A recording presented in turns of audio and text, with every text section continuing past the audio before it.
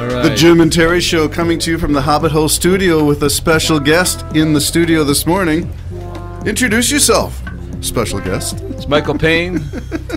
uh, yes, uh, Terry and I have known each other for uh, I don't know how many years now. It's uh, I would say uh, 1982, You're telling how old we are. 83. So we are dating ourselves, but haven't seen my friend in five and a half years uh, since moving down to the east coast of uh, Atlantic Canada. Originally from Gros Morne National Park on the west coast of Newfoundland. Interestingly enough, I, uh, I'm from Newfoundland. Terry's from Toronto. Uh, we met. He's from a family of nine, seven boys, two girls. I came from a family of nine, seven b- brothers, two sisters. Similar family dynamics. So we were destined, destined to meet. So here we are again, five and a half years later, doing my first podcast with my good friend In the Mr. Hobbit Terry Hole Wigmore. studio, In the, in the chair that Jim has occupied for five years. well, I am uh, privileged today to You are. You're warming it up for on him. seat, Mr. Jim. my, by the way, Jim, my former next door neighbor, who uh, wonderful, wonderful guy. Speak highly of you, Jim. Yes, indeed. Well, here's a cheers. This is what we usually do. Clink our mugs. If you can reach All over right. your mic stand. There's the clink clink, and we do a slurp, clink. slurp in the mic. Uh, slurping the mic. There you go. Okay, you've now been baptized into the Church of the Hobbit Hole studio. I love it. And uh, we're going to cover some things controversial as we would do with Jim. Yeah. Only we're going to cover things from the Michael perspective. So you offer your two cents worth, and I'll just get things going. Sounds A good. recent poll just came out and said that, and this is of likely GOP supporters Yeah. of the uh, Trump, and the they're running their leadership campaign. So Trump is just the leader. But the poll said, and this is MSNBC published on Morning Joe this morning, 71% of Trump supporters still support Donald Trump over friends and family, over anyone else in the conservative media that they listen to, over any religious leader that is in their lives. 71% believe Trump alone speaks the truth. Wow. Is that that's telling? Are they living vicariously their lives through one man who they believe is their savior, You can save America? Uh, you know, uh, nationalism, Trumpism, that mindset is very uh, intoxicating. It can draw people in. It can make you feel like eh, this guy speaks for me, you know, what I cannot speak for myself out in the, let's say, the so called media. So, but that is telling. I, I'm surprised. At this point in our history, I didn't think we were there at that place. I thought, you know, Trump would go away after all that's happened with, you know, with uh, with the uh, There are a number ins- of things. insurrection. There are a number of things. Let's go back and talk about coffee house uh, meetings that we used to go to Tim's at Argyle Road in 48 Yes. with another good friend of ours, I- Greg. yeah, And that. if you can go back to 2015 and Trump comes down the escalator and announces, how did you feel about Trump as he Well, sort of took what- charge of the GOP? Well, I'll be honest. Back in the day, uh, I mean, uh, early on when all that happened, you know, I, I think I was, uh, I was very curious That's a good word. Curious, curious about what he would bring what bring. he would bring, and I think initially, I think that you know, it, it. I don't know. There were some things that were going on in America that were. Um, I mean, there were so many Suspect, things questionable. Questionable. I mean, uh, Were what you you, what were- you.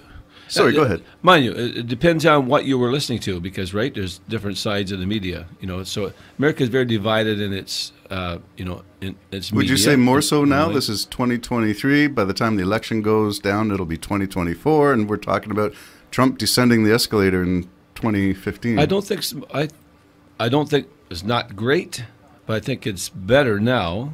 I, I don't know. I mean, I, I, I'll be honest. I'm not following it as much as I used to. Okay, so I going back, going, going back, back to what then. media did you cover? or did you follow in those years of, of Trump rising to party leadership? Well, I used to watch Fox News, uh, CNN, both. Uh, that were the two main American channels that I would uh, watch back and forth. You know. so back then, uh, did you notice any change, any difference in the media coverage? I mean, from my perspective and what I was feeling at the time, I felt that there was it was media was not fair uh, in some ways. So there was you weren't getting uh, you know a balanced, uh, fair view of what was going on. But you listened to two Yeah. pretty different views, Fox and Yeah, CNN. It's left and views. right. Yeah, exactly. So did you find that between those two, you could find a balance and assess Trump in some kind of way that was um, fair? Yeah, I think so. Back then, yeah, I think uh, as much as you, yeah, I think maybe uh, I felt like those two were the ones that would give you a, as the most information about what was going. On. MSNBC uh, a little bit, but not so much for me. Was that I just didn't know the characters on MSNBC, like Morning Joe. That wasn't really aware of those guys. Uh, Would you say that your knowledge of Trump then gave you some reason to be optimistic about America? Well, there was a sense of that, yes, that Trump could go in. He was a, the big disruptor, if you will, uh, to the establishment, to the the elitism, that kind of thing. And I think there's, I think to be honest, there were a lot of Americans in Middle America who felt that way, that they their voice was not heard. Trump for them was that voice that they could not get their voice across, whether you agree or disagree with that. So I believe, so you have to listen to that. If 71% of those people are still uh, Listening. listening to Trump, we have to pay attention to that. We have to give somehow give them a voice in a way, or let let them be heard. Because how do you bring everyone together? Uh, you know, we have to sort of cross those lines. That's a very uh, uh, so. I mean, they weren't heard. So I guess going back to then, I would say, you know, that they felt that they were not heard, and maybe they still believe that they're still not being heard. Okay, well, let's get let's get back to two things. We'll get back to voices not being heard or opinions not being heard, Middle America not being heard, Mm-hmm. Yeah. and Trump, the great disruptor. Yeah. He is, was, always has been a great disruptor. But you said he was going to break, you know, the hold of elites. He represents the very thing that you just That's right. He does. elites. And he does. and he is an elite. And here's the irony of that. The 71% who would still vote for Trump, most of them are either A, religious people, Yeah. B, they're not middle class. They're on the bottom of the barrel America.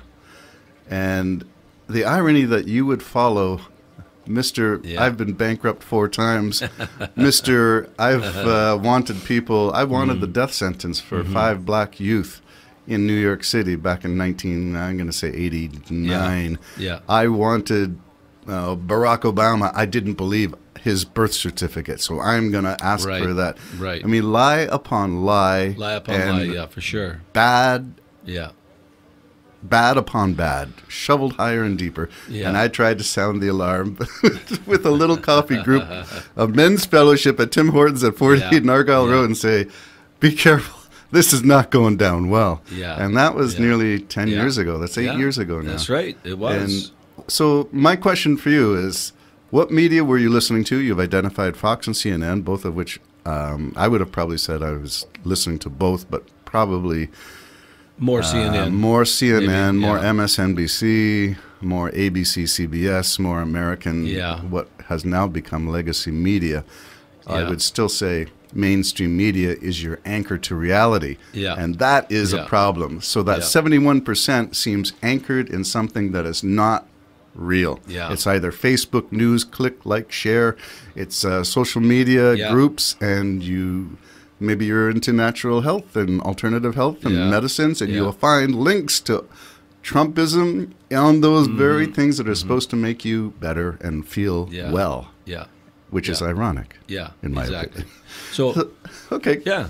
So, uh, no, you're right. So, you So your view has changed. We had different opinions, obviously, uh, you know, and uh, so what changes my own inner, my own inner reflection, uh, my my own journey of discovering uh, the divisiveness of society, uh, uh, which is also our own internal conflicts that we have in ourselves, right? You're saying the external conflict in American culture, the culture wars. Uh, Yeah, it's a- Ron DeSantis right. and his That's uh, woke- symptomatic. That's symptomatic. That's symptomatic, right, of a deeper issue, right? With you know, so you have uh, uh, now you have America, you know, with a yeah. Which way will it go? There's a deep sense of nationalism uh, for a, a great many people.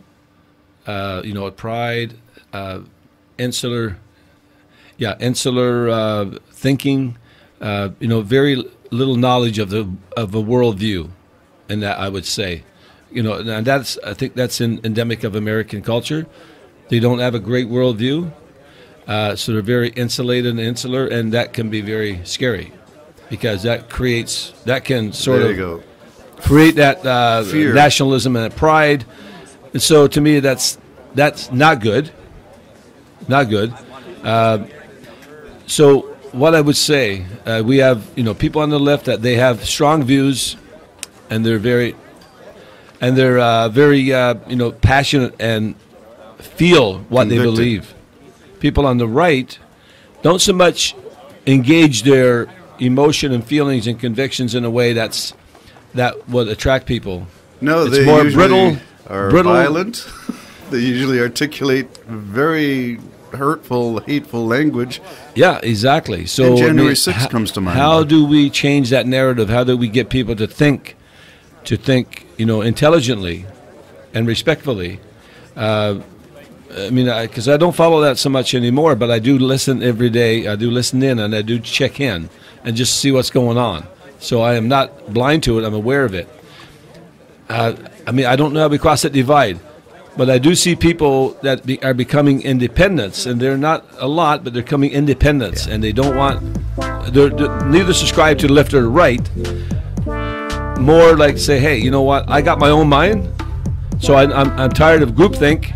I want to be able to think for myself. All right, this is Michael, our guest in the studio, who's talking about groupthink as the danger sign of 71% Trumper. Bye bye for now.